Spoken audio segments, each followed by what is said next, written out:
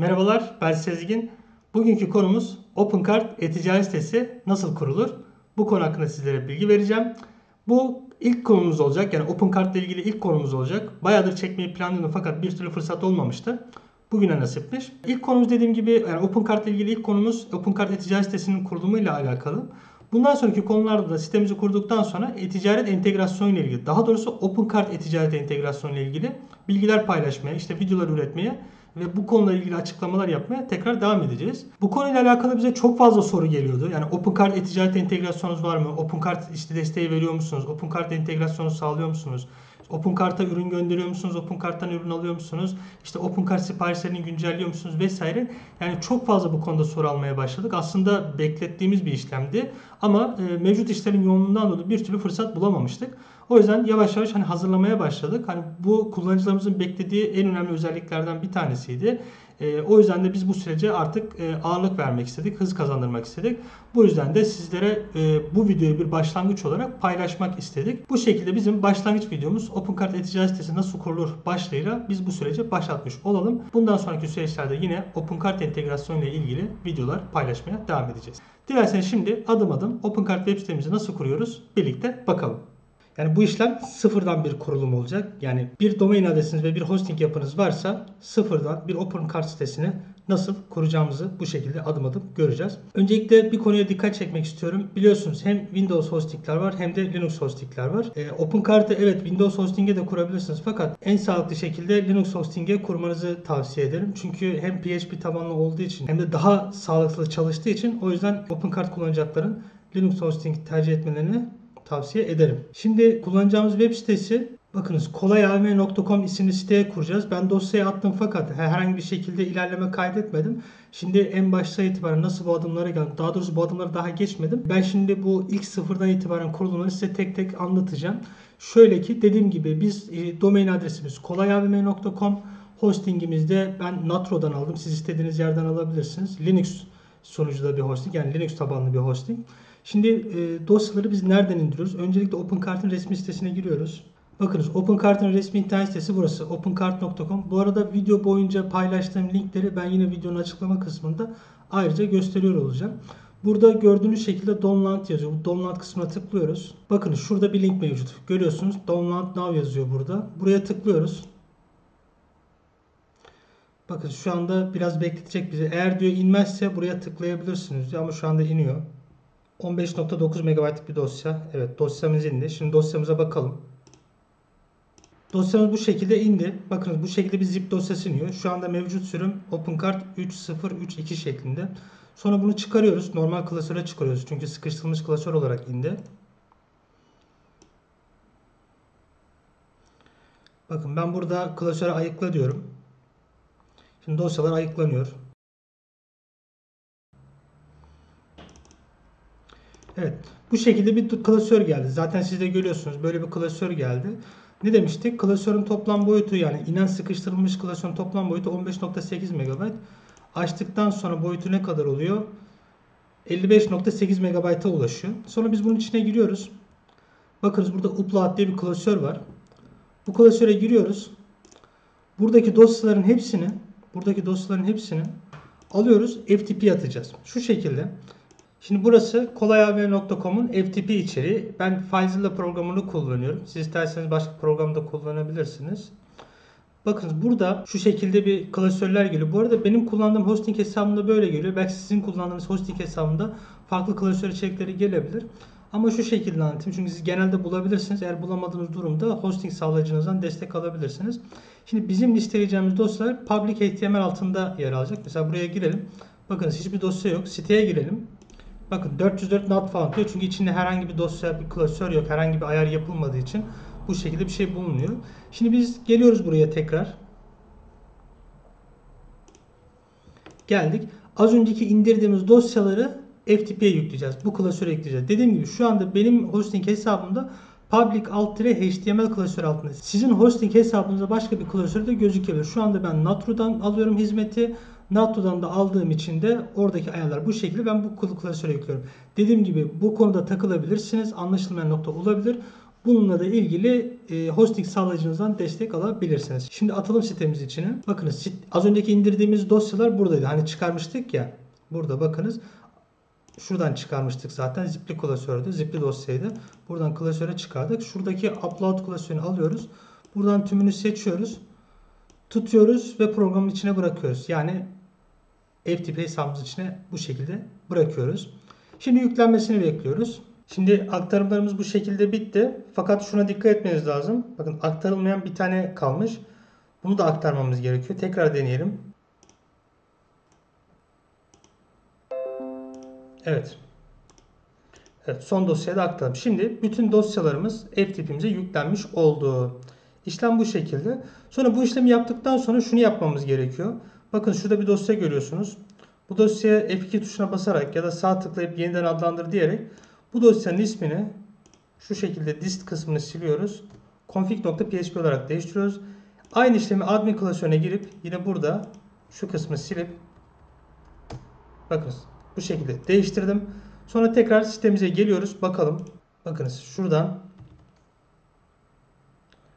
enter diyorum. Evet kurulum sayfası geldi. Artık şu an karşımızda kurulum sayfası mevcut. Gördüğünüz şekilde İngilizce yazıyor içerikler. Bakınız burada tıkladığımız zaman İngilizce geliyor. Şimdi dilerseniz buraya isterseniz şimdi şey de yapabiliriz. Ben buraya Türkçenin nasıl ayarlanacağını da göstereyim.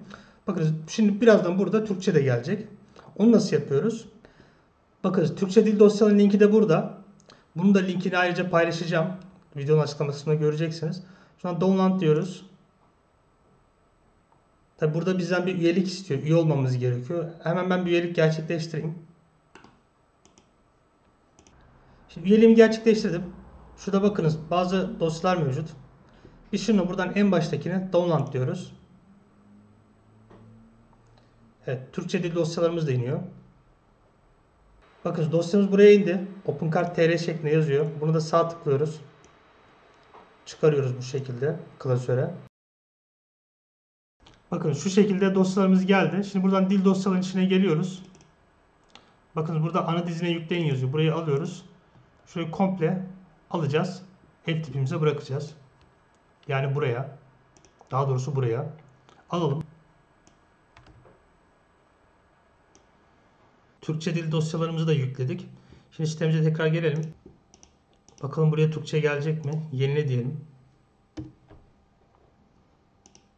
Bakın Türkçe geldi. Türkçeyi seçelim.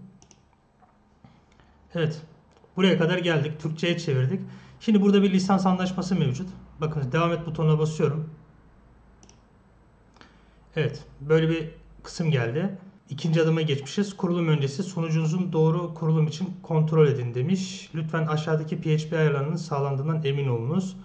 Zaten genel olarak evet aktif demiş. PHP versiyon aktif. İşte bu şekilde sizler de görüyorsunuz. Buraya kadar aktif. Evet dosyalar yazılabilir. Evet. Her şey yeşil, okey şeklinde. Belki siz şu durumla karşılaşabilirsiniz muhtemelen. Ee, buradaki gördüğünüz dosyaların bazısı yazılabilir olmayabilir. Bunlara mesela izin vermeniz gerekebilir. Ee, o yüzden bu dosyalara izin vermeniz yaranızda olacaktır. Çünkü öteki türlü yükleme yapılamayacaktır. Peki nasıl izin vereceksiniz bu dosyalara? Bunun için de hosting firmanızdan, hosting sağlayıcınızdan destek alabilirsiniz. Bu dosyalara izin verilmesini sağlayabilirsiniz. Ya da eğer yapabiliyorsanız hosting firmanızın size vermiş olduğu hosting panelinden e, bu izinleri sizler de verebilirsiniz. Ya da dediğim gibi hosting sağlayıcınızdan destek alabilirsiniz. O yüzden burada hepsi yeşil olduğu için yani hepsi aktif olduğu için herhangi bir işlem yapmama gerek yok. Tekrar buradan devam butonuna basıyorum. Bakınız burada e, üçüncü sayfaya geldik. Yapılandırma, veri tabanı yapılandırma ayarları var. Buradan veri tabanı ayarlarımızı yapacağız. Bakın veri tabanı sürücüsü. Burada MySQL kullanacağız. Genelde MySQL kullanılır çünkü. Şimdi sunucu adı localhost burayı aynı bırakıyoruz. Veri tabanı kullanıcı adımız kolay AVM user olsun. Parola kısmına parolamızı yazalım. Veri tabanı adına kolay AVM DB yazalım. Buralara dokunmuyoruz. Bu öne kısmına da dokunmuyoruz. Yani tablo isimlerinin başına bu OC şeklinde ekliyor. Yani atıyorum işte ne oluyor normalde? İşte müşteriler tablosu. Ne oluyor müşteriler tablosu? OC alt müşteriler tablosu ya da işte nedir? Ürünler tablosu. OC alt ürünler tablosu şeklinde. Bunu da bu şekilde bırakıyoruz. E, burada da yönetim için bir kullanıcı ve parola giriniz diyor. Az önceki girdiğimiz bilgiler veri tabanına bağlantı içeri yani veri tabanı bilgileriydi. İşte ne girdik? İşte veri tabanımızın kullanıcı adını girdik. Veri tabanımıza ait parola girdik. Veri tabanımızın adını girdik. Bu kısımlara dokunmuyoruz. Bunlar sabit kalıyor. Şimdi burada da siteye giriş için kullanıcıda bir şifre belirliyoruz. Kullanıcıda admin demiş. Ben buraya Sezgin yazayım. Parola kısmına buraya bir parolamı giriyorum. E-postayı da e-posta adresimi giriyorum. Evet. Devam et butonuna basıyorum. Evet kurulum tamamlandı. Kurulumu bitirdik. Bakınız satışa başlamak için hazır şeklinde yazıyor. Şöyle bir uyarı var. Install dizinini silmeyi unutmayınız. Evet bunu yani bu işlemi bitirdikten sonra kurulumu tamamladıktan sonra bu dizini bu klasörü silmemiz gerekiyor. Hemen silelim. Bakın şurada görüyorsunuz bu klasörü. Burayı delete tuşuna basıyoruz. Evet diyoruz. Bekliyoruz şu anda. Install dizinini sildik. Evet bu şekilde klasörde sildikten sonra web sitemiz açılmış oldu. Aslında gördüğünüz gibi ya belki ben biraz detaylandırarak anlatmaya çalışmış olabilirim fakat e, OpenCart web sitesi kurmak bu kadar kolay, bu kadar basit. Zaten şu anda sizler de görüyorsunuz içerisinde mevcut yani OpenCart'ın standartında mevcut yüklenmiş ürünler var. Bu aşamadan sonra artık bundan sonra ne yapılması gerekiyor? İşte panel kısmına geçilip panel kısmının kullanılması gerekiyor. Panelden de işte normal standart ayarların yapılması gerekiyor. Yani bir OpenCart sitesi kurulum işlemini kısaca bu şekildedir. Biraz sayfaları dolaşalım isterseniz. Mesela bakın şurada fotoğraf makinesi var. Bakın içine girdi. İşte burada fiyatı mevcut. Burada gördüğünüz şekilde. Yani şu an hiçbir ayar yapmadık. Sadece normal sitemizi standart olarak kurduk. Bakınız her şey burada standart ayarlarıyla mevcut zaten. Artık bundan sonraki aşamalar şey olacak. Hani bakalım.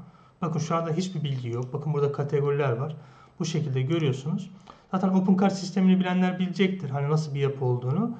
Ee, çok fazla kullanan kullanıcı var. Ücretsiz bir sistem. Bakın şu anda direkt indirdim, kurdum. Hani farklı bir işlem yapmadım. Artık bundan sonraki işlem panele girip işte tema ayarlamadır, işte ürün yüklemedir, işte sanal post kurulumudur vesaire. E, SSL ayarlaması artık bundan sonra bildiğiniz klasik e-ticaret işlemleridir. Şimdi bir de size yönetici panelini göstereyim. Bu şekilde videoyu sonlandırayım. Bakınız kolayalm.com slash admin yazıyoruz. Neydi bizim kullanıcı adımız? Sezgin diye yazmıştık. Şifremi de yazıyorum. Login basıyorum. Evet. Panelimiz de bu şekilde. Şurayı şimdi kapatayım. Bakınız OpenCart panelimiz de bu şekilde. Artık bundan sonraki ayarları bu aşamadan ilerleyerek halledebilirsiniz. Ee, buraya kadarki kısım sizin sıfırdan bir şekilde nasıl OpenCart e-ticaret sitesini kurabileceğinizi anlatmaya çalıştım. Tabi burada bazı teknik konuları anlamıyor olabilirsiniz. Yani yabancı geliyor olabilir. İşte hosting ile ilgili sıkıntılar yaşayabilirsiniz. Nedir bu sıkıntılar? İşte veri tabanı oluşturmanız gerekebilir. Bunun için yardım almanız gerekebilir. İşte hosting ayarlarından bazı klasörlere, dosyalara izin vermeniz gerekebilir. Hani bunlarla ilgili belki destek almanız gerekebilir.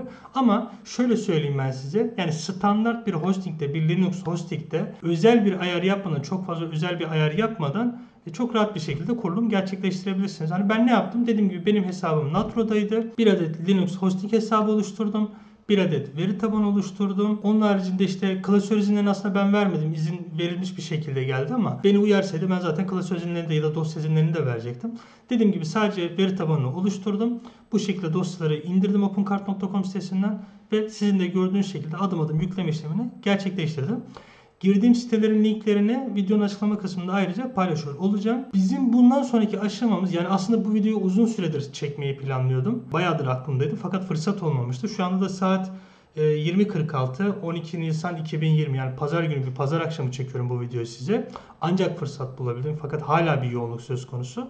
Şimdi bundan sonraki aşamada şunlar olacak. Ee, yavaş yavaş OpenCart entegrasyon süreçlerini bitirmeyi planlıyoruz. E, bu süreçler bittikten sonra tabii OpenCart'ın haricinde de sistemler gelmeye devam edecek. Mesela WooCommerce olacak, PrestaShop olacak, bu şekilde sistemler olacak. Ya da onun haricinde Türkiye'de bilinen e sistemleri de olacak. İşte nedir? IDSoft, Digimax, Platin Market gibi sistemler de sırasıyla gelecek. Şimdi bundan sonraki aşamamız hani OpenCart sistemimizi kurduktan sonra entegrasyonla ilgili sizlere bilgi vermek olacaktır.